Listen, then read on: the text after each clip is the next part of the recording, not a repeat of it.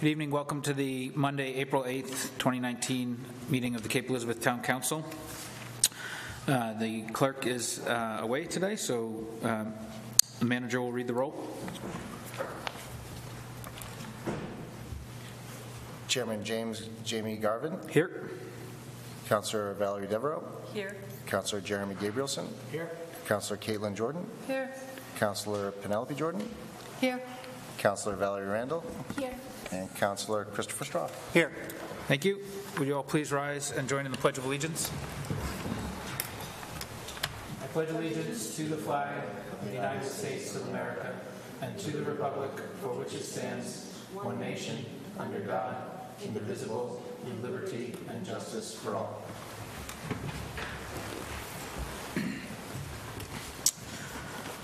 Thank you. Uh, Are there any counselors that have any reports or correspondence they'd like to mention at this time? Councilor? I um, am part of the uh, Portland Area Comprehensive Transportation System. It's called PACTS. Smiling. Uh, We just had a project advisory committee last, meeting last Friday to talk about the big vision of transportation in southern Maine. It's an 18-month project, and I'm uh, super excited to be representing Cape Elizabeth in this. I'll give you more updates. Right now, it's just sort of a visioning and seeing where we're going with uh, transportation in southern Maine. So it's pretty exciting. Super. Any questions for Valerie? Councilor Randall? Um, I just wanted to note for everyone watching and those here today that um, I'm the delegate to the Maine Municipal Association Les- Legislative Policy Committee, um, and we review a lot of the bills that are for- before the legislature. Um, and I do my best to assess whether those would be in the interest of the town or not. But if anyone has input on a particular bill, I'm happy to um, speak with you or hear from hear from uh, residents who might be interested in voicing their concerns or um, voicing whether they're in favor of something. Thank you for that reminder. Any other reports or correspondence from anybody? Seeing none, we'll move on to the Finance Committee report. Councilor Straw? So uh, at the end of March, we held our first two town council budget workshops where we went through the municipal budget. Um, In addition to that, uh, for the current month, everyone should have their financial committee um, dashboard and their appropriation control, the expense distribution, the revenue control, and the revenue distribution. Uh, Does anyone have any questions on any of those? Um, Seeing none. Uh, Moving on, so uh, our next budget uh, meetings for the town council, I believe the next one's going to be April 24th, when we'll be receiving the school board budget presentation, which we'll then be discussing at that point. Uh, I just wanted to highlight a couple issues or a couple items of note in the uh, current municipal budget, um, which I'm sure we'll, we'll be covering. It's probably in the manager's uh, report here. So we're currently still, we're budgeting conservative, conservatively with respect to local revenue sharing coming from Augusta, in my opinion. There's currently four different bills working their way through Augusta relating to local revenue sharing. So that remains a big open item, which will potentially swing the budget uh, one way or the other by potentially a couple hundred thousand dollars. We'll see what comes about with that. Um, and obviously, nothing's still etched in stone with respect to the school funding that will come out of Augusta. So there are big unknowns in the budget. Um, and I don't want to steal the town manager's thunder as to the progress from the workshop. So with that, I'll just wrap it up. Great. Any questions for Councilor Straw? Seeing none, uh, is there anybody from the public that wishes to speak to something not on tonight's agenda? If you could come forward to the podium right now. Thank you. Good evening. My name is Bruce Flaherty. I'm from Augusta, and I'm involved with the Spirit of America Volunteer Recognition Program. Spirit, no, let me back up. Mainers do great things to help uh, others, including the youth who raised $275 from hot chocolate sales to buy needy kids Christmas toys, and the police officer who saved the lives of two youths as their home was engulfed in flames. However, it often happens that people like this, who do great things to help their communities, do not get public recognition they deserve from their local officials or from anyone else. Now, Spirit of America Foundation is a 501c3 public charity established in Augusta to encourage and promote volunteerism. And it allows the Spirit of America Foundation tribute to be presented in the name of any Maine municipality to honor a person, project, or group for outstanding community service. Last year, over 160 Maine municipalities picked a recipient of this award. Municipalities typically honor the recipient at their annual town meeting or in the month of April, but they're welcome to do it at any other time.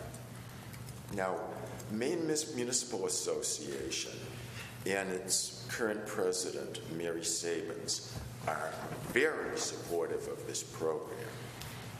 You can find information, a reference to the program on the MMA website under recent announcements.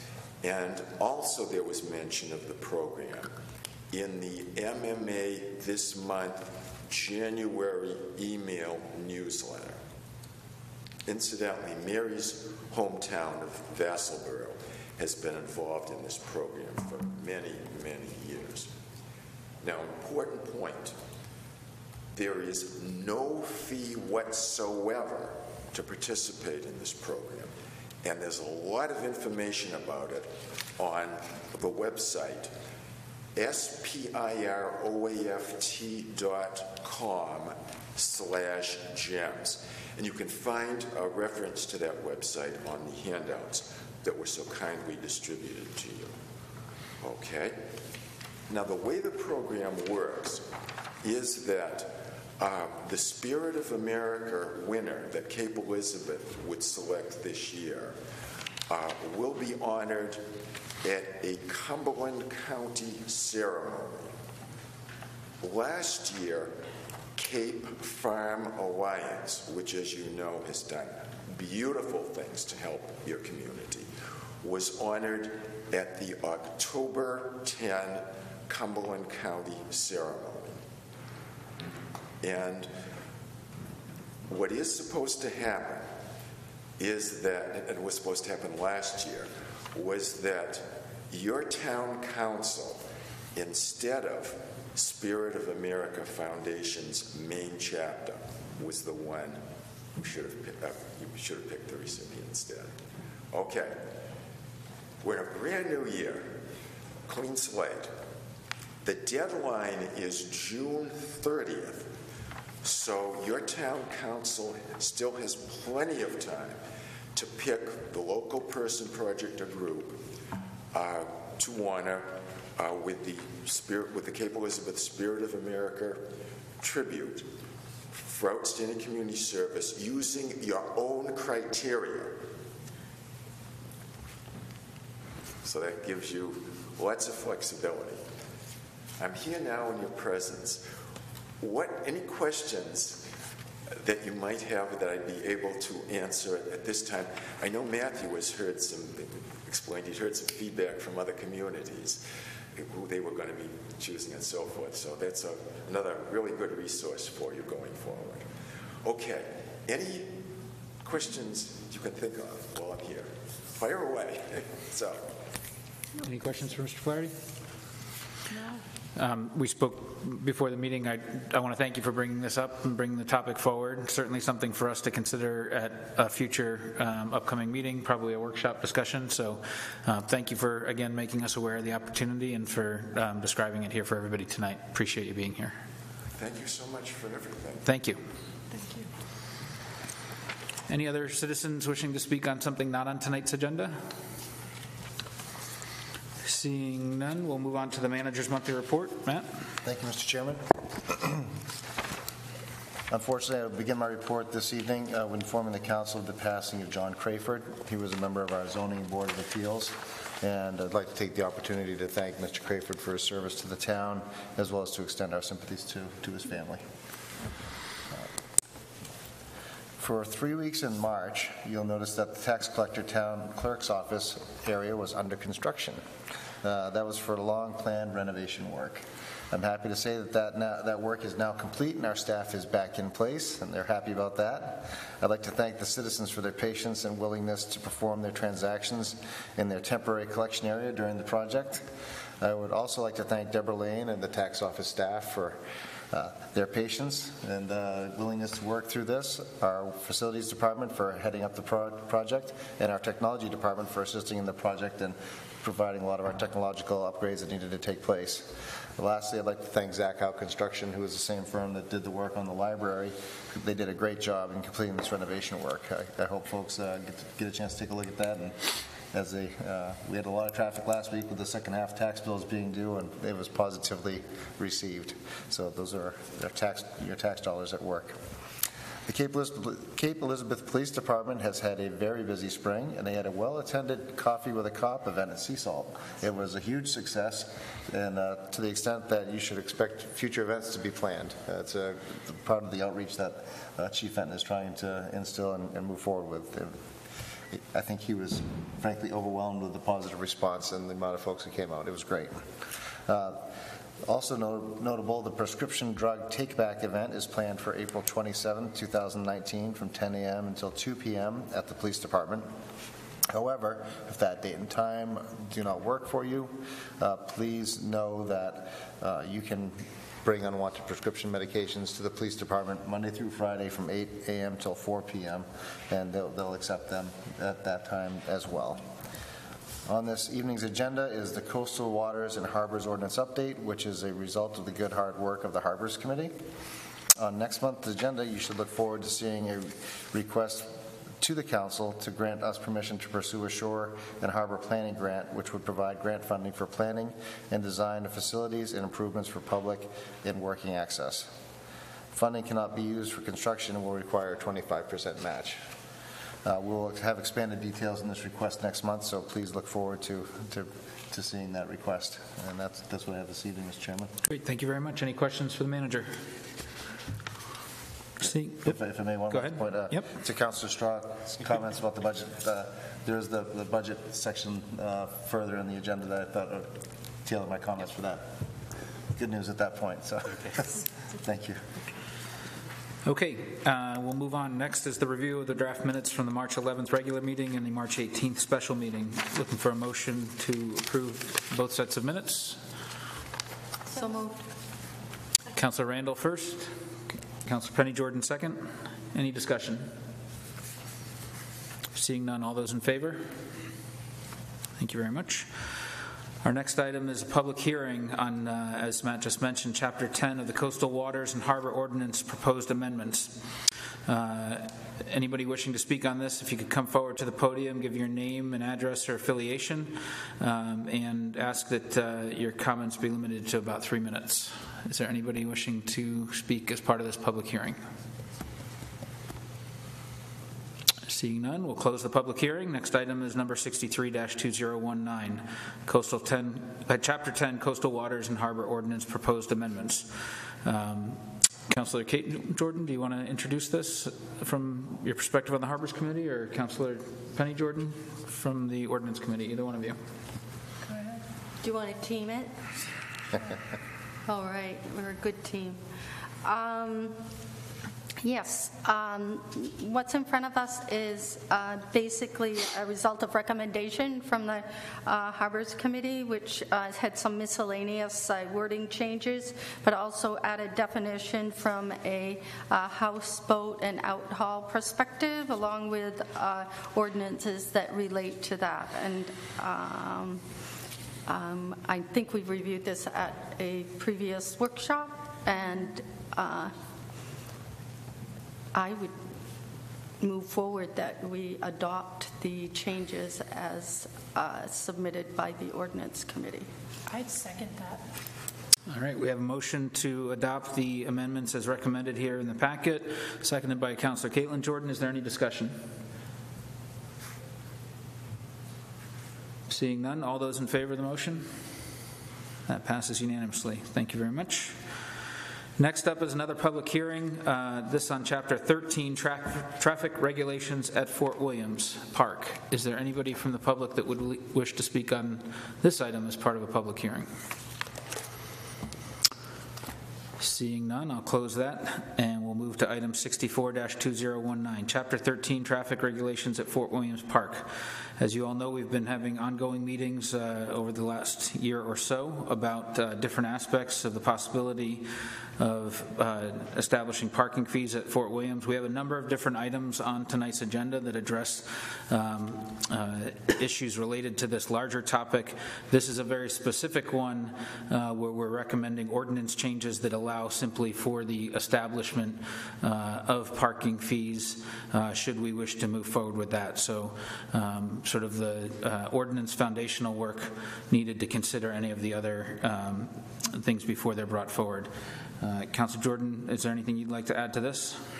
Um, The, uh, basically, this, uh, um, this change um, is about creating flexibility um, around um, the rules needed at the park, that the flexibility would be with the town council to um, address things as needed and to um, make changes to any um, traffic patterns based on heavy traffic and uh, ensuring the safety. So the, uh, again, we discussed this at a workshop. There haven't been any changes, and I put forth that we accept this uh, ordinance change as recommended.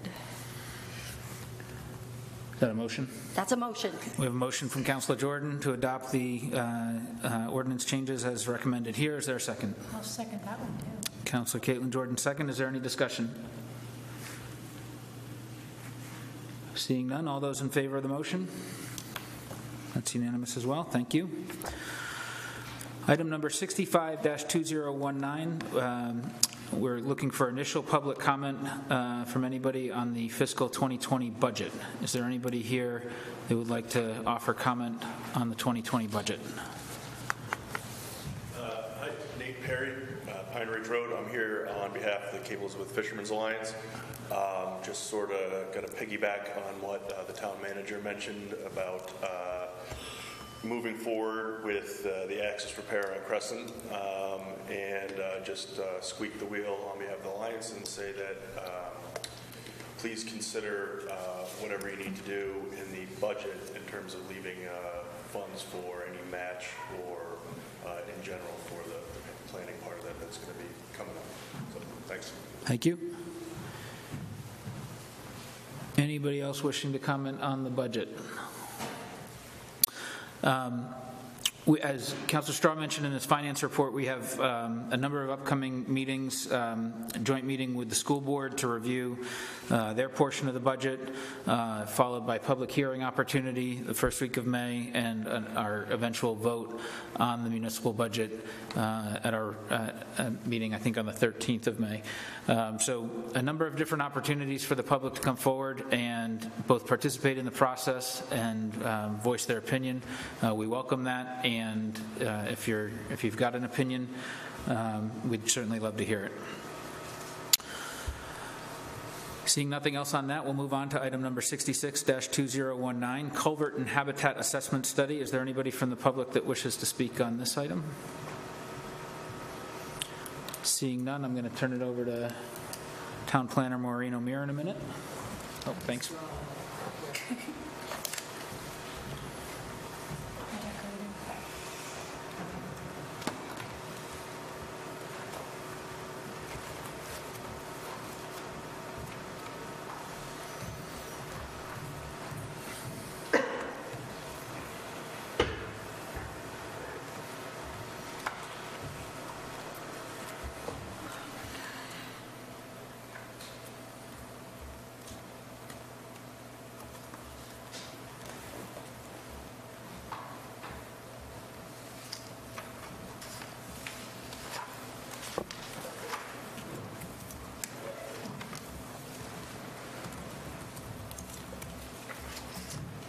If you're ready. Please. It never happens that easily. Um, So here tonight as well, and um, This is a brief presentation on a study that was done by the Public Works Director, myself, and our town engineer, Steve Harding.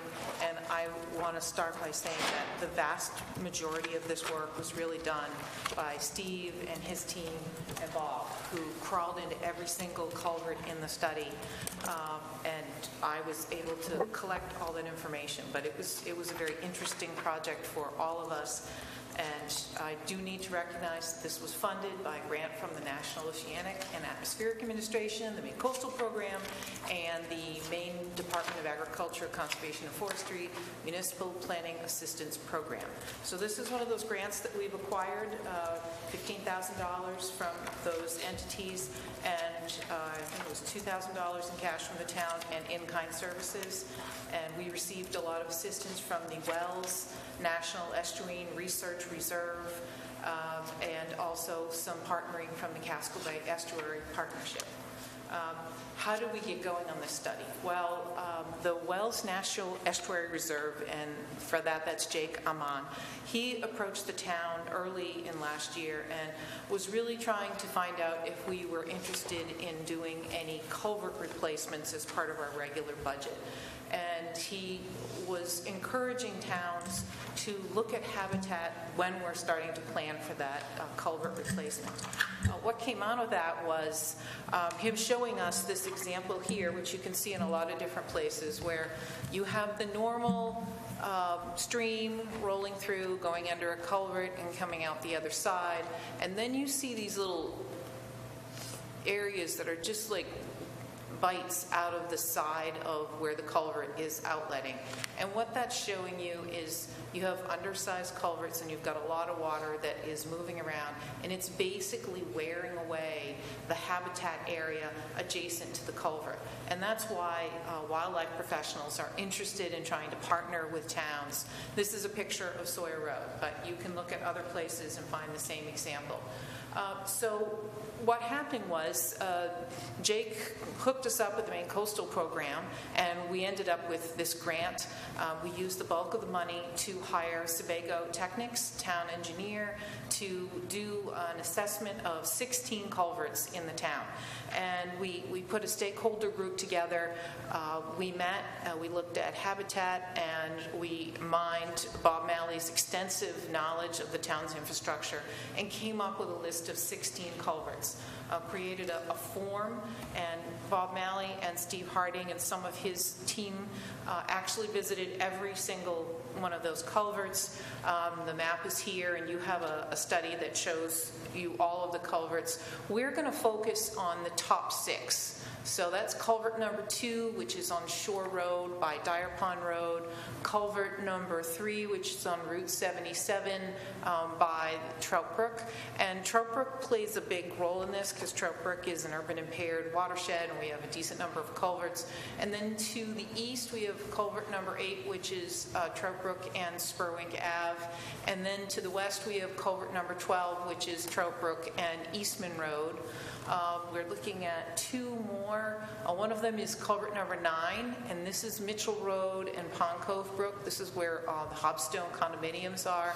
And then the last one is not in a road, uh, culvert number 15, which is right here, and that is Willow Brook. There's Scott Dyer Road right here, Willow Brook comes down, and this is the major culvert. So um, I'm only going to go over the top six. I know culverts are stun- stunning, but, so, uh, the, one of the best parts about this study was that we had, uh, we had a lot of technical assistance from some Habitat folks. And Jake is the one that pulled all of this data that is available and kind of screened every one of our culverts. And it's very interesting that some of them have a lot of habitat value, some of them don't have a lot of habitat value.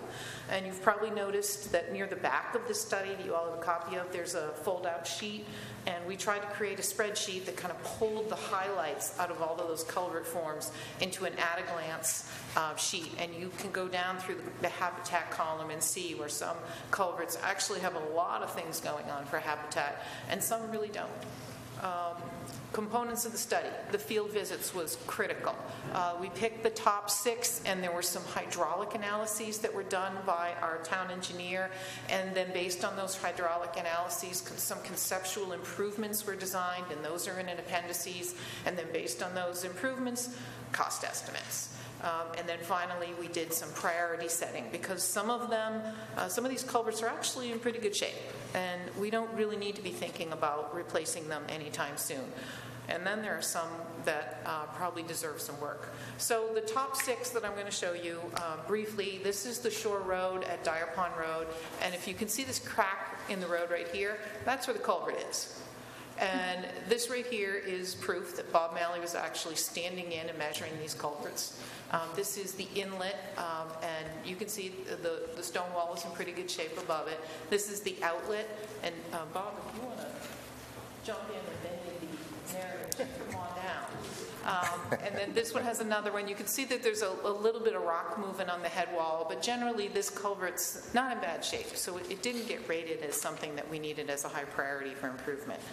Um, Then we have our culvert number three. This is the Ocean House Road. I'm going to give you the pair. This is um, the, the major culvert on Ocean House Road, just as you're crossing into South Portland. It's an enormous culvert. You can see it's got this big concrete wall. Great picture you can see going all the way through. Um, Not in bad shape, but you can see the, the stones up here starting to move down into the brook, which is not good. Um, So this was rated as for medium priority. That means that maybe sometime in the next five to 10 years, we need to look at it, at at improving this. Interesting, it's 54 feet long, and there was a question, would, would habitat, would critters be willing to go through that long, dark tunnel? And the answer was probably not a problem. Um, This next culvert, we're staying with the Trout Brook theme. This is to the east of the culvert we were just looking at. This is on Spurwink Ave, again, right near the South Portland border. And again, you can see, you know, there's a lot of vegetation on both sides of the culvert, and that's good. You can start to see some rocks that are in the stream. So um, overall, not in bad condition as well.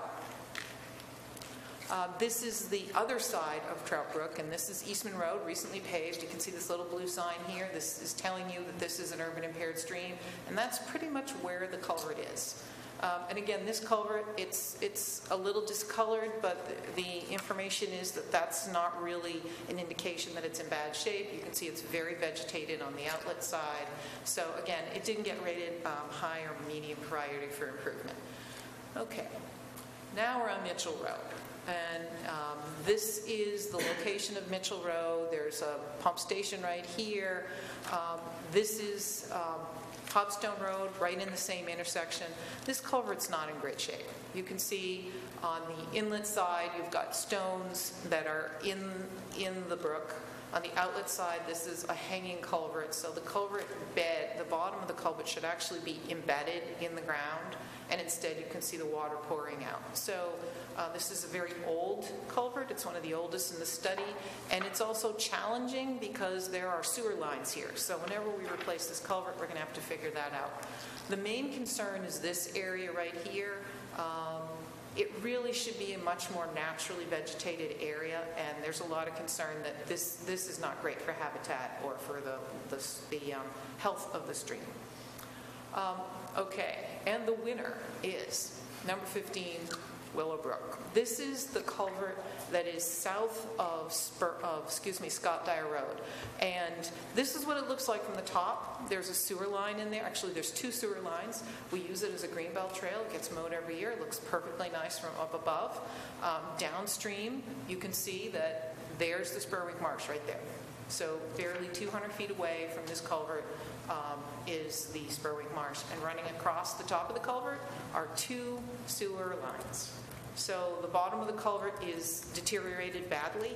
Uh, We don't know what's going to happen to those sewer lines if these culverts completely fail, um, but it doesn't look good. So this was the number one high priority for replacement.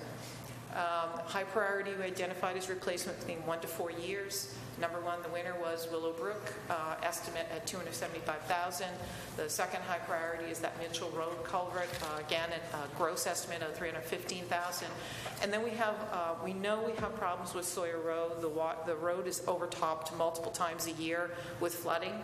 Uh, We currently are doing a separate study on Sawyer Road. It was originally included in this study, but it's got a lot of tidal influence, and it was just impossible to fund that analysis and do the other work.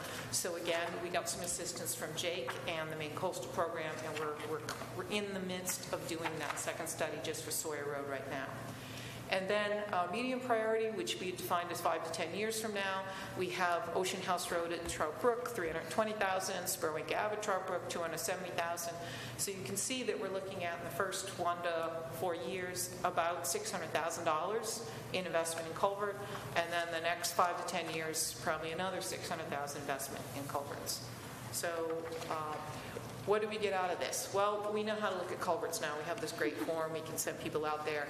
Uh, we have the at-a-glance table, which we're hoping is a good reference for you as you move forward and do capital improvement planning. We have incorporated this ha- habitat evaluation, which we don't usually do for infrastructure investment. Uh, we do have an idea conceptually of what the cost would be, and we've got this ongoing partnership with habitat groups, which helps us with the analysis, but they also have been helping us with identifying funding sources. And that's all. Any questions? Questions for Maureen? Maureen, I have a question. How, how long are these things supposed to last? Or some of those ones that are in the high priority state, how long have they been around? It really depends on the composition of the culvert. Uh, HDPE culverts or plastic culverts have a much longer lifespan. We have some that are corrugated metal, where the bottoms will fail. So some are concrete, those have a much longer lifespan. So it really depends on the type of material. But the HDPE, I'm not sure if there is a life. You know, if it's exposed to sunlight, uh, it can have a- an impairment uh, issue with that. But uh, as long as they're bedded properly and installed properly and they're plastic, they have a long lifespan. Some of these ones that are high priority, how, how old are they, do you know? The oldest one, I think we identified was Mitchell Road at Ponco Brook, and it predates the sewer project of 1975. We really don't have an installation date, but that's probably the oldest one. The Willowbrook culverts, which were rated number one, were replaced in 1983 in that area. So, long life, Long life. yeah. Okay. Other questions? I'm just curious, um, so projecting out the amount of capital that we would be looking to replace um, based on this study, how does that compare with what we would otherwise be looking to budget around culvert replacements? Well, I think what we learned from this exercise is that we needed to budget for these um, uh, infrastructure replacements. We, I think we were addressing things on sort of a short uh, window notice, or something was failing, we had to, you know, pursue it and replace it uh, on a much shorter notice than we normally would. But I think what this does, it gives us a plan moving forward to assist the council on how we're going to fund these and to plan for those in the future, if that answers your question. Yeah, no, that, that's, that's helpful. Um, And I'm just curious on the cost estimates, um, if those are based, what, what sizing those are based on, or based on an initial projection on the amount of flow, or how, how those cost Those are based on, it's it's modeling done by uh, eng- our engineering firm, and I think we've got a 25% contingency or something built into that. So those are, those are estimates uh, based on computer modeling of typical cost. The other thing we did, and if you look at that at-a-glance table, you can see BFW, bank full width. I learned a lot of terms during this talk. Um, We've got state standards now that we're not looking just at how much water can move through a culvert, but installing infrastructure that isn't a habitat barrier. So the new standard is really the width of the water body you're trying to span plus a foot on each side. So it's 1.2 bank full width. And that's what's driving the cost, because we are, have to buy a bigger structure than we would if we're just thinking about flow. The other thing we need to do is we need to embed the structure in the ground, so we're looking at losing one to two feet, because we want to have a gravel base once you put that in. So you're buying bigger structures than you would buy 40 years ago. Get that right? Absolutely. Um, Lastly, I want to thank Maureen for her efforts on this. She's the one that really got it off the ground here and filled out the grant applications and um, put together the report. So she didn't give herself enough credit, but uh, I'd like to to recognize that. And I think, you know, as I told you, I think last week at the, or last month at the budget hearing, this was a very val- valuable exercise. I think sometimes we took or take our infrastructure for granted, that everything's flowing underneath the road as we drive over it.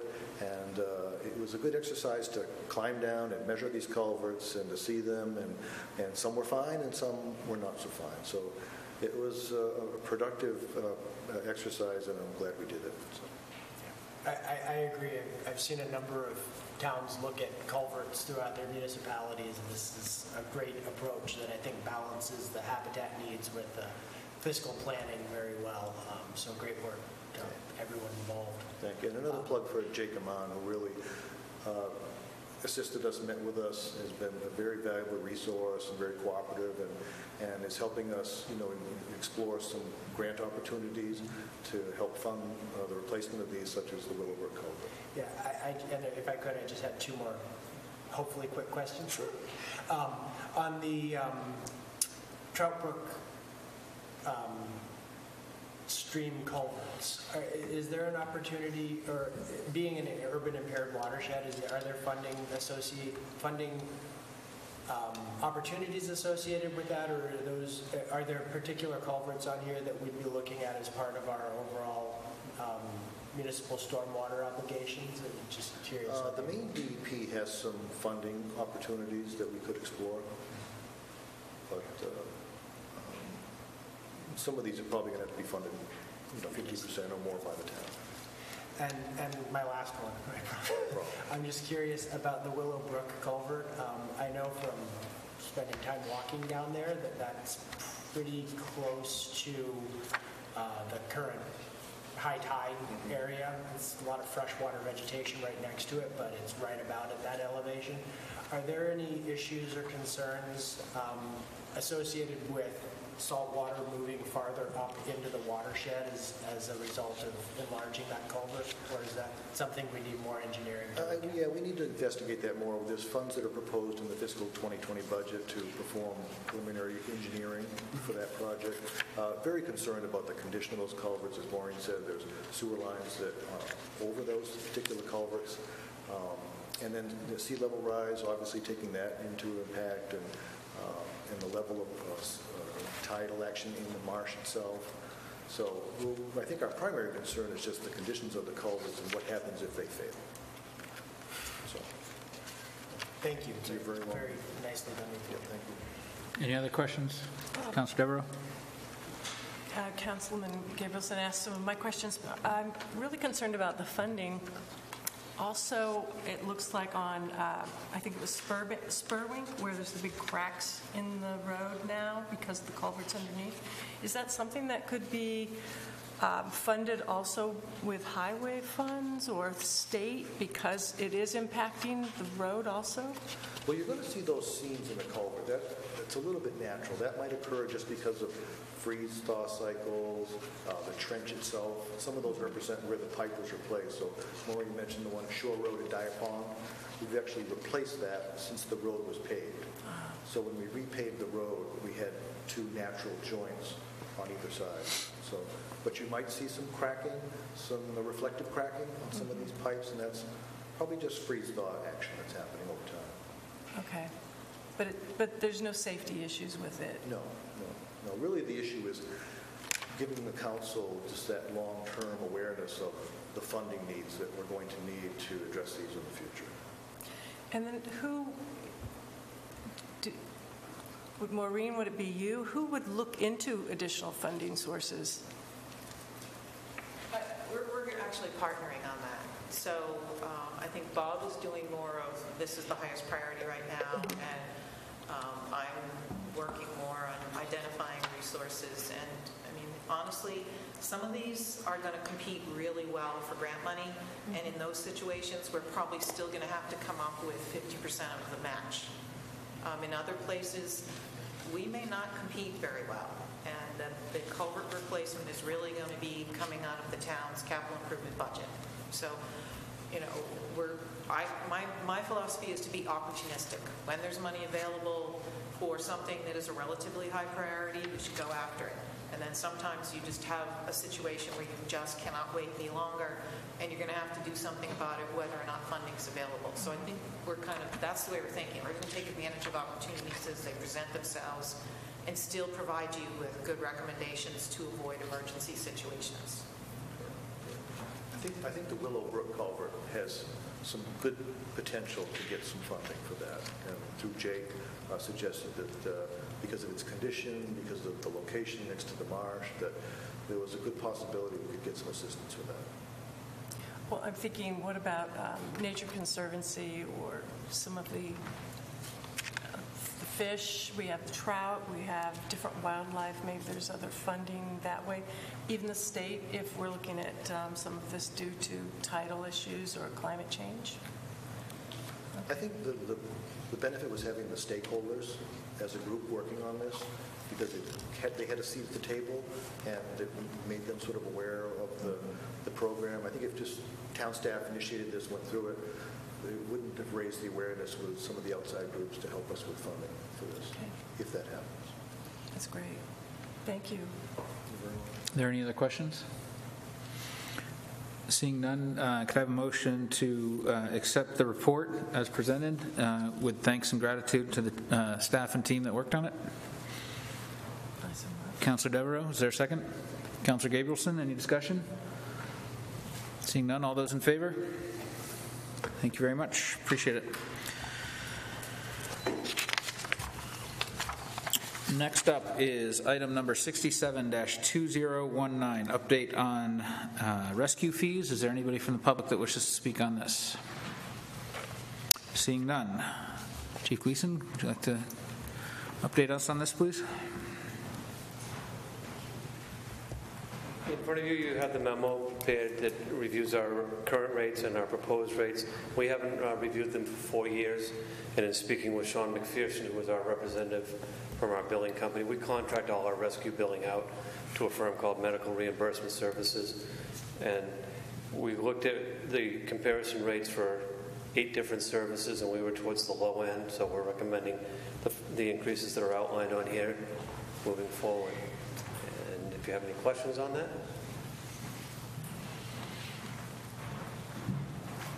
Any questions for Chief Gleason? Coun- Counselor Straw?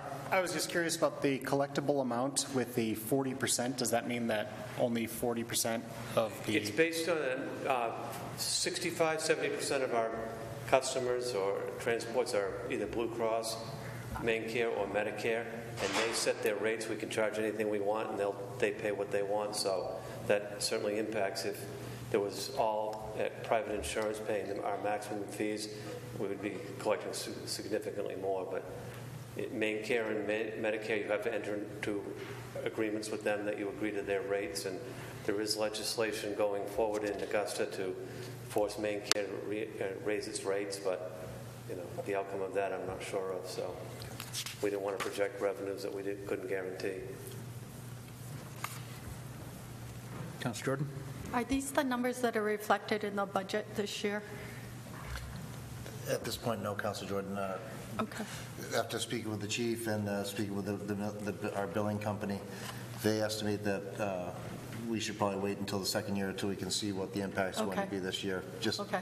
uh, for safety's sake, because as, as Chief said, the majority of our runs are either, they're, they're on fixed numbers, so you can set it at whatever you want, you're still only going to get paid so much.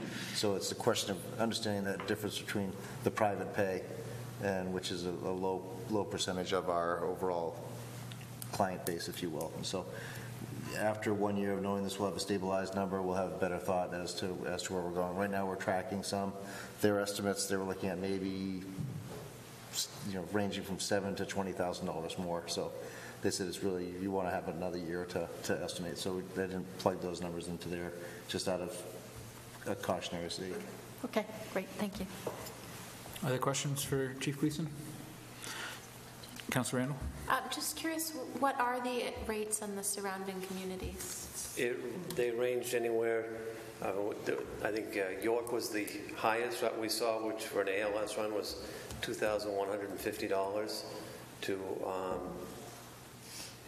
Buck, no, it wasn't Buxton, it was, I can't, I can't remember the top of it, it was like Kezar Falls or something was only charging $700. But the thing that's different now is with the per diem program, almost every one of our transports involves an ALS provider. So we're doing more ALS treatments than we used to do. Um, Basic life support is, you know, taking your blood pressure, your pulse, your oxygen level, and basically, you know, a me- quick medical assessment, whereas ALS is introducing IVs, drugs, uh, EKGs, that sort of things, and all those raise, raise the rates up. And surprisingly, probably 70, 75% of our runs are now ALS runs. So we're billing at the higher rate there. So it just, it's a wide variety, and some charge, we used to do a thing called a, a menu, so based on the services, was how much your charge was. It was very difficult to project what our revenues would be. So we've gone to these fixed things, and some services are doing the fixed, and some are still doing the menu. So it's, it's not always apples to apples to compare to other services. But we, our collection rate is, is one of the better in the area, so that, you know, that, that certainly helps our revenues. But but we're sort of, right now, we're towards the lower end. I would like to get more towards the middle to the high end, Will this bring us towards the middle or high higher? closer to the higher end. We'll be above the middle and below the high, so Okay. it's a good middle ground. Matt, you want to add something? If I may, Chief, uh, Chief was kind enough to give me some information on this the other day. So of the six different towns that were, that were looked at, uh, on the advanced life support of the ALS run that he was, that the chief had referenced, the low was $985, the high was 2,150. Uh, Majority or, or uh, two of the six were at 1,000, one was at, uh, and two were at 1,800 in the high end and the, you know, then the low end. So at $1,000 on the ALS run, we're, we're pretty much catching up with, with the other, other communities that were in the study. Councilor Straw? Uh, So um, with the proposed fees, we're, we're covering our costs, I assume? No, No. the town's still, sub- most of, the majority of the rescue budget is funded from the fees, and probably, what, a third is come direct from tax. Yeah, roughly. So the, uh, uh, that's interesting. So, uh, um, so as it stands, we're relative, it sounds like we've been relatively r- low, and the taxpayers have been subsidizing the program, which obviously has benefit to all the taxpayers. Um, We're, mo- the proposal is to move it up a little bit more, which will still be subsidizing it, but not as much. So we're kind of sharing the burden with the people using the service. Yes. And um, so looking at this, it looks like you do about two, two and a half runs a day, is that right? Yeah, we're- we're at 2.8 almost now. Right. And and it's the strangest thing to predict. Last year, Tuesday was our busiest day of the week. Can't understand that for any, and, and next year it may be a different day, but Mondays and Tuesdays are usually popular because people have waited for the weekend, don't want to go to the hospital on the weekend. So Monday and Tuesday are usually our busier days, but there's no rhyme or reason to the volume that I can figure out I thank you for pulling this proposal together. Um, I think this looks like a reasonable proposal. Um, Assuming we move forward with this tonight, what would you recommend um, as a time frame for, look, you said it'd been about four years since we reviewed the rates. Is that, is that a, a normal time frame, or how often should we be looking at I talked to uh, Sean McPherson who- from our medical reimbursement company, and I think we'll do it annually, just to make sure we're staying. And the hard thing, too, is some of those services and the surveys are private, that contract with their communities to provide the service, and some are are municipally, municipal service like ours. So it's, it's kind of difficult to get apples to apples on, on some of these comparisons. So.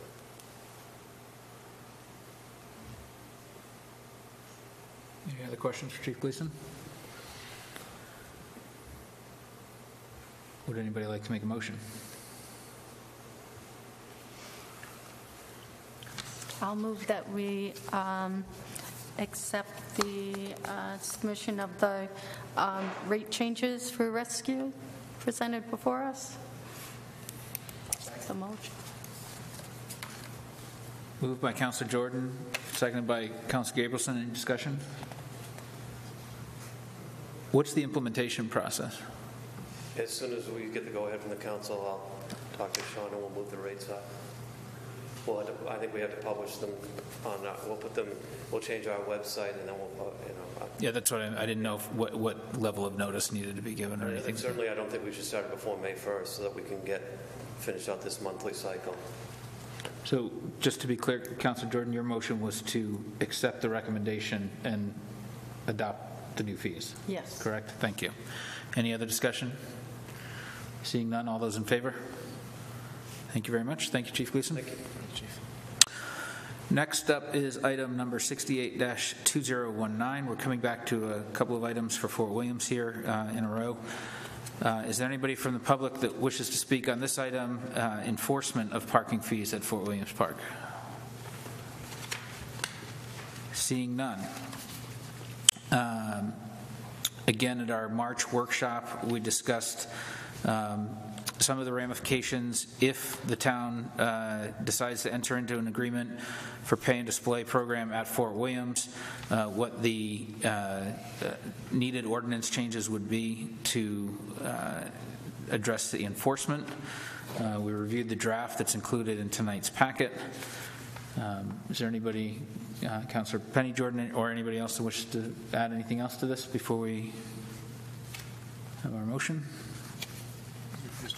Go ahead. If I uh, Kind of uh, struggled with what recommendation to make to council as far as what you would like to do. Uh, As you noticed on uh, page, or on the subsequent page, depending upon how you print it out, on item number 68, uh, what I provided in here was a couple of proposed changes for the council to consider.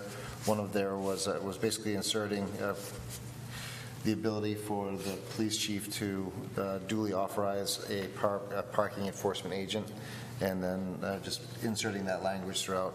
Uh, I wasn't sure the level of uh, involvement that the council might want to have, if you wanted to refer this to the ordinance committee for consideration, or if you wanted to send this forward, uh, depending upon if the council felt that this was fully baked and ready to go forward to, to set to a public hearing next month, if you wanted to, do- you had either, either option. Uh, But I've kind of struggled with which one to, to recommend, because it is, I didn't want to step on the ordinance committee's uh, toes, quite frankly. Councilor Jordan? That was going to be one of my questions as to what the history or precedent is of having to send it to the ordinance committee, because it's going to take us, we were looking at the timeline of being able to get this up and running for this summer. And by the time the ordinance committee meets, reads these, what, eight lines and a change of maybe a dozen words, and then we bring it back to the council, then we've got to set a public hearing to have these ordinance changes. I think it might just be worthwhile that maybe we look at it as a council who's going to vote on it regardless in the end, and maybe do that tonight, set a public hearing, and then we are on the same timeline that we projected to be on. Other comments? Counselor Randall? Um, I agree with Counselor Jordan's desire to move this along quickly, but just a quick glance, it seems like there's some pretty problematic language in here for enforcement. So I don't know how much workshopping we're up to in this setting. And it- maybe it's possible that we could, just as a council workshop it at some, we could squeeze it into the agenda of an upcoming workshop maybe? Is there a- a current ordinance meeting scheduled? There isn't one There isn't one. scheduled. We didn't have any things on our agenda. So this would be an item that we could put forward and do fairly quickly, I would think. It's just getting the meeting, I think, Right. scheduled. I mean, with everybody. Once everybody gets back from vacation. Right, so that's what I mean, yeah. But so we're, you're still make, either way, you're making it a month out further. Because even if we get a meeting in, whether it's a workshop with the council or a workshop with, or a meeting with the ordinance committee, you still don't have anything approved to go to a public hearing until next meeting. And then you have to have a month for that public hearing. Then you have to have a month after the public hearing for it to take effect. Right. So I would be willing to sit here and just listen to what some of the things Ms. Randall or Mr. Straw has to say, because we just went through this ordinance the other day, so what did we miss? So maybe hear what the suggestions are. Yeah. Can we do that? Councilor Straw? Eh, So I'd like to hear from Councilor Randall. Um, eh, To the extent any of the issues that you have are outside of the bolded and underlined text, it, those would be issues with the pre-existing ordinance, I assume? Um, So, so I, I, I'd like to hear what, what, what you're looking at and saying, ah, let's look at this. Councilor Randall? So, just in terms of translating this, because this was not contemplating at the time it was written that we would have a third party enforcing. Um, I don't know the details of the contract with the parking enforcement company, but I think that's something that we need to know before we require that they be authorized by the chief of police. And I- I'd also like to hear from the chief of police as to what that process might look like. Um, And then we also have in this section, the, the dollar amount of the fine shall be set by order of the um, town council. But are, I don't believe we're setting, are we setting the amounts of the fine? I guess, I get, again, that's something that I'd like to know more about the contract with the enforcement agency, how those fines are set. And then the last part refers to payment being received at the public safety building within 30 days after the date of issuance of the ticket. So we, we may just need a whole new section that deals specifically with Fort Williams and not general parking, rather than try to make this work with the Fort Williams parking scheme, just write a new one.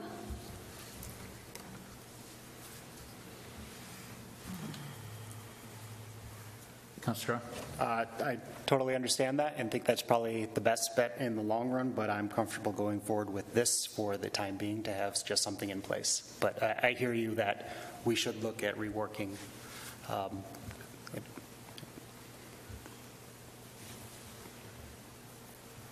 Other comments? Can I Council- take- Councilor Devereaux? I- I agree um, with Counselor Straw. I think that, and Counselor Randall, I think that um, there are some issues that need to be reworked, but if we do get it in place now, then we can go ahead and rework it and put in a new, a revised um, ordinance. Councilor Jordan? Just clarification. So what I hear people are saying is uh, move this forward uh, in order to continue to move ahead with um, um, any recommendations around fees for Fort Williams, and then um, also submit to the ordinance committee for some sort of uh, rewrite at a later date. That's what I hear. Is that what we're saying? That's what I'm hearing. Okay. Other discussion? Councilor Randall? Um, I think that that's an okay plan, but I think we may have some issues when, if we tried to actually enforce based on this ordinance. So I don't know whether there's a point in actually moving forward with this, um, because I don't know that it would do much for us. Except, except allow a duly authorized parking enforcement agent to act, so. Councilor Jordan? Which I think that's what we're after. I think we, I, at least I understood it that we knew going into it that it was kind of wishy-washy on the enforcement to begin with, like, like, you know, just because the third party writes you a ticket, it's like the true honor system that you're going to pay it. I, I guess I'm, I'm struggling with which part you're struggling with, that part, the enforcement part, or just that we can authorize the third party to write the ticket? Um, All of it, I I guess. I think, well, I wonder if it might be problematic with our contract if we don't have authorization for them to actually enforce, because I think that's part of the arrangement in terms of what they get from it. Um, I, want to jump in here. Uh, the, I, I, um, I'd rather do it right than fast. I've been saying that on a number of points as it relates to this item all along. Um, I would note that, you know, all of the revenue that we're projecting um, in the fiscal 20 budget, that starts July 1. So anything before that is gravy, which I'm not dismissing.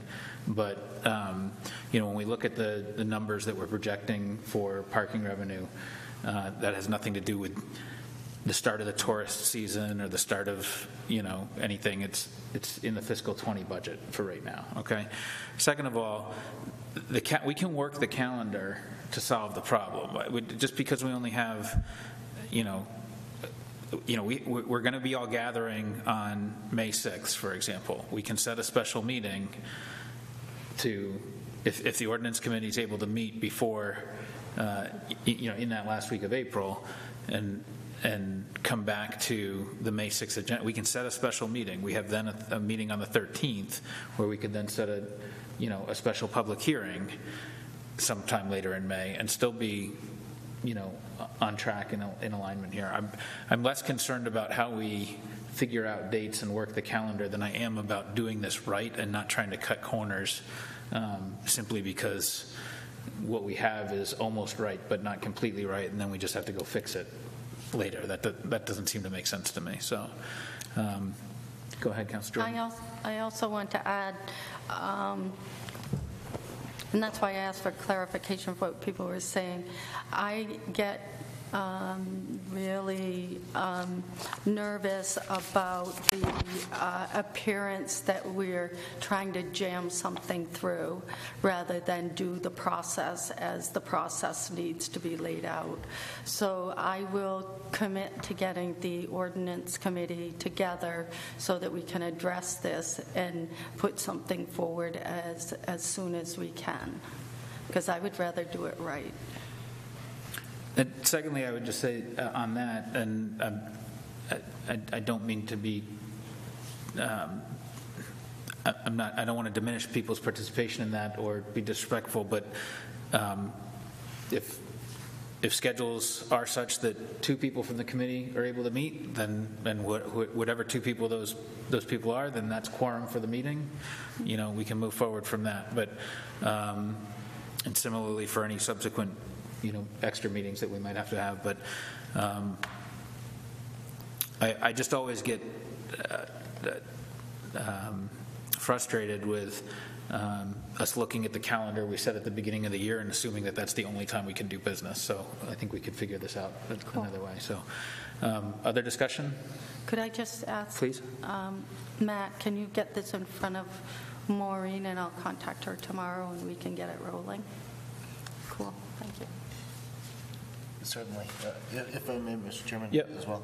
Uh, If you think about the grand scheme of all the, the irons that you have in the fire, this is, a- this is a really small, and I'm not downplaying the, the, uh, the importance of it, but of the, of the heavy lifts that you've done up to this point, the earlier item that you have, and then the subsequent item that you have, those are the larger ones. Uh, So I would agree, if you can get that one fine detail in, and where, where the chairman is, is spot on, is you can get this part locked into place, I think, in time to where, where you need to be. Uh, When you consider the heavy lift that you've already, that you, you're already contemplating, so I, I would, I would think a- an abundance of caution wouldn't be a bad thing to do at this point. I- that- That's why I I had struggled with it at this point to make a recommendation either way. Uh, So that- that's all I have on that, Mr. Chairman, thank you. Yep, the other thing I would ask is that if, if at all possible, to include Steve Fenton in the meeting, um, the ordinance committee Oh, meeting, good so that idea. we're, um, you know, have all the necessary stakeholders involved and can, at the very least, short-circuit that process, so. Um, Unless there's any other discussion, I'm looking for a motion to refer this to the ordinance committee. So moved. Counselor Randall, Second. second by Counselor Jordan. Any further discussion? Seeing none, all those in favor? Great, thank you. Next up is item number 69-2019, Statement of Policy for Revenues Received from Parking Fees at Fort Williams Park. Is there anybody from the public that wishes to speak on this? Seeing none.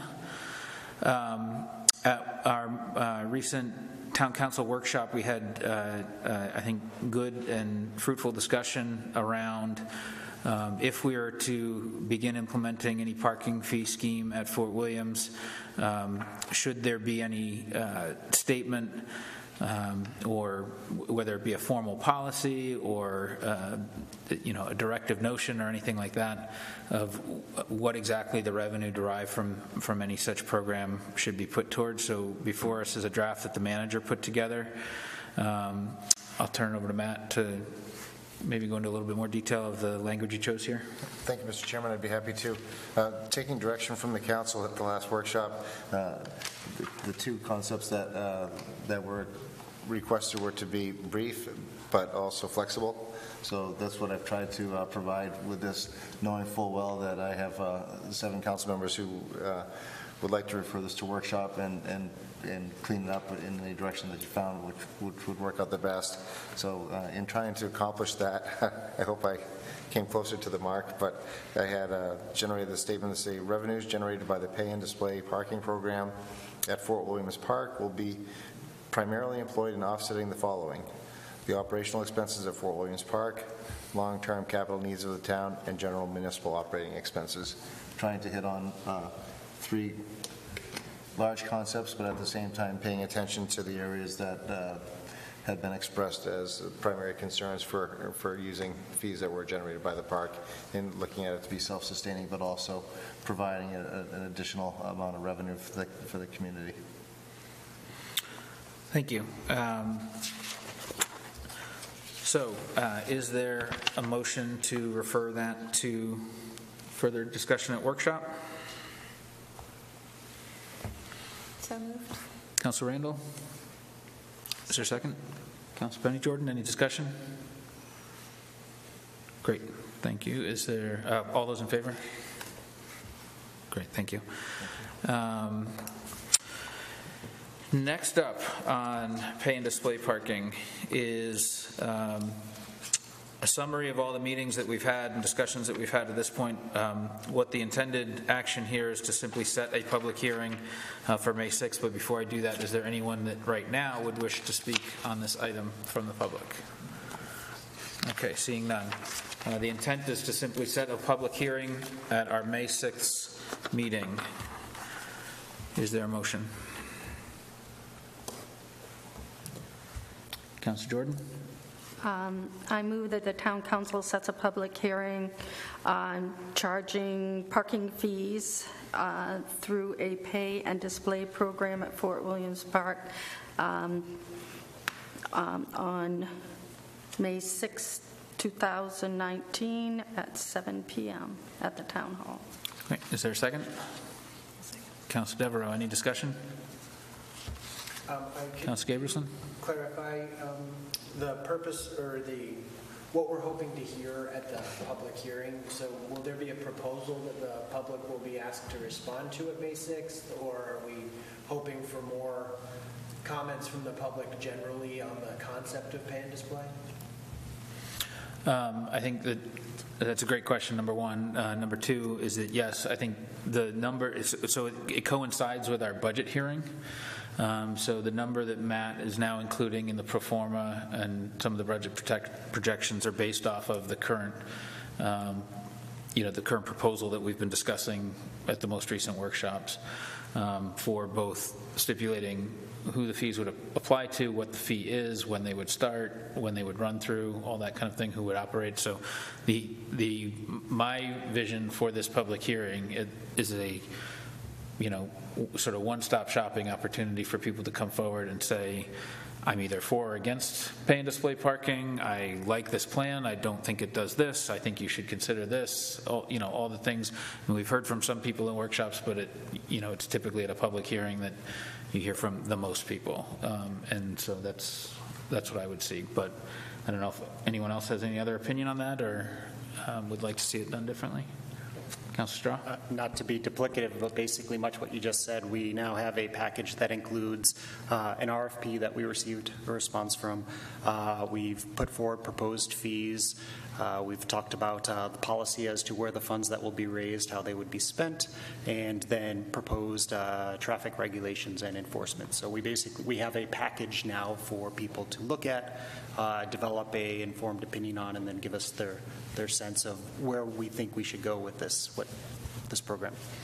Um, To that end, I think it would probably be worthwhile, and I'm happy to take on working on this with Matt um, when I'm back the week of the 22nd, but maybe we put together a couple of PowerPoint slides that just are really high-level summary as opposed to the, you know, volumes of pages that we have that we've, we've poured through on this, but that outline, you know, this is, this is what we're talking about here. Yeah, I think that would be helpful. There's a lot of, I mean, just looking at our agenda tonight, there's a lot of moving pieces on this, and some of them are pretty technical and in the weeds. So I think having that high-level summary and really laying out, you know, here's how we're envisioning that this would work at this point would be helpful for um, people to think about what their comments would be. I agree. Other comments? Seeing none, the motion on the floor is to refer this to a public hearing on May 6th. All those in favor? Great, thank you. Next up is item number 71-2019, an easement deed for 51 Ocean House Road. Is there anyone from the public wishing to speak on this item? Seeing none. Matt, do you want to tell us about this? I'd be happy to, Mr. Chairman. Thank you very much. Uh, If you all recall, uh, roughly about almost a year ago, uh, 51 Ocean House Road was uh, the victim of a- of a Oh, bad right. fire, and the house was uh, was demolished, subsequently uh, resold to uh, and some investors who are looking to redevelop it, who currently have a project in front of the planning board uh, to to turn the the existing one lot into two lots.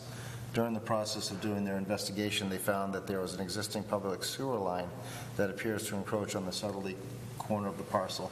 So what we have this evening is an easement deed that's been brought forward from Maxwell Cove LLC uh, for the property at 51 Ocean House Road to make that uh, more le- legal, I guess, for lo- for for all intents and purposes. Uh, They brought that forward, we have the deed, and uh, we're ready to go with that, but we would need to have the uh, council's approval to provide an easement deed on that. Okay. Is there a motion to approve the easement deed as requested here uh, for 51 Ocean House Road? So moved. Counselor Randall, is there a second? Second. Counselor Penny Jordan, any discussion? Seeing none, all those in favor? Great, thank you. Next up is item number 72-2019, Statement of Policy for the boards and committees barring the appointment of town employees from serving on standing boards and committees. Is there anybody from the public that wishes to speak on this item? Seeing none, Counselor Devereaux, would you like to uh, introduce this? Yes, thank you, Mr. Chair.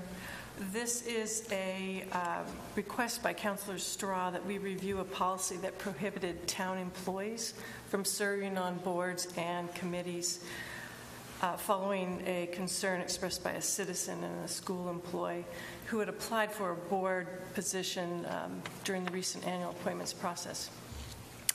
We, uh, I met with uh, Town Manager Matt Sturgis. We worked on this, and then the uh, council workshopped it on March 18th. I think that the uh, policy looks very good, and um, I would ask that uh, everybody approve this motion, or make a motion and approve our new um, statement of policy. Great. Uh, Motion by Councilor Devereaux to approve the recommended changes to the boards and committees policy. Is there a second? Second. Councilor Randall, any discussion? Councilor Straw? Uh, Just for number three, the, it's the which versus the that thing again. Um, The, the, the second sentence of uh, bullet three, where it's a which, we Yep. should have a that, but that's it. Which is descriptive, that is restrictive, my way that I look at things grammatically. Should be, yeah, it should be that instead of which. Any other discussion?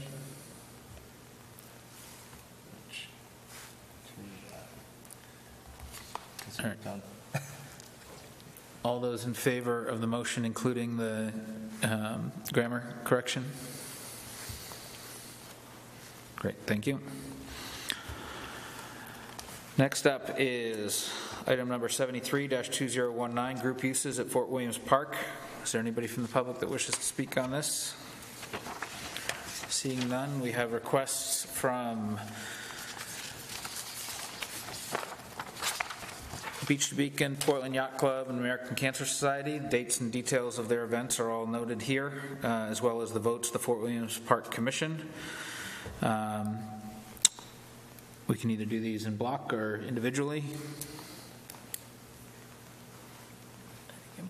Okay. Uh, Is there a motion to approve the group uses as noted here on the agenda?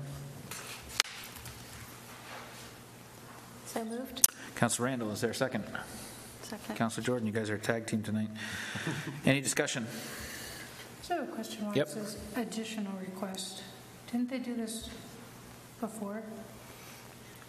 If I may, Mr. Yep, this is for an additional event they're doing, but um, Matt, What, can- what they've done in the past was held it at an, o- a a different location off-site, and so what they're looking to do is uh, add it all, have it all be held on-site now. Uh, They used to hold it, I'm trying to remember where, was it at, uh, I think it was at the pools, maybe? Yeah, but this, last year it was at the fort, that's why I was just,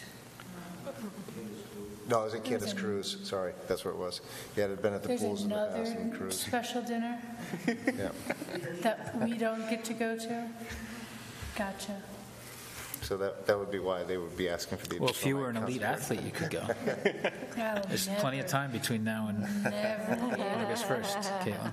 change that status. Get running. Council Straw? So there's the volunteer night, there's then the elite athlete night, and then the race. So the three events at the end of the day. And the VIP thing. Yeah. Um, Can I, I'm curious. Basically, all of the activities have shifted to the fort, is the point. Um, I'm curious, the note on the Portland Yacht Club- Club request that PYC will hire police for overnight, is that use intended to encompass this entire time frame? They'll have a presence in the park, or I'm just curious why that note was included? Yeah, they- they do overnight because there is a, it's a, it's like a 24-hour race, more, more or less. And they have uh, like a command center that's located there. So if you have somebody in the park, they need to provide uh, security or hire us to, to be there for them. Any other discussion or questions? Seeing none, all those in favor? Great. Next is number 74-2019, setting the warrant for the school budget validation referendum election. Is there anybody from the public that wishes to speak on this? Seeing none. Uh, Before us is the draft warrant to the uh, police chief. Uh, Is there a motion to approve the warrant? So moved. Counselor Caitlin Jordan, is there a second? I'll second it. Counselor Penny Jordan, any discussion? Seeing none, all those in favor? Great.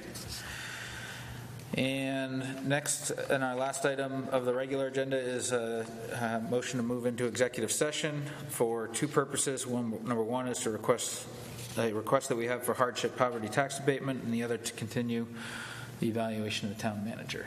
Is there a motion as is written here, please? Counselor Randall, Is this the one where we have to read the motion? please. Um, I move that the Cape Elizabeth Town Council enter into executive session in conformance with 1 MRS Section 4056F to consider a request for a- an abatement of property taxes based on hardship or poverty, and 1 MRS Section 4056A to continue the annual evaluation of the town manager. Great, is there a second? Second. Counselor Devereaux, any discussion? All those in favor? All right, we'll move into executive session. We have to come out of executive session to, with the decision? No. No? No, because it's, uh,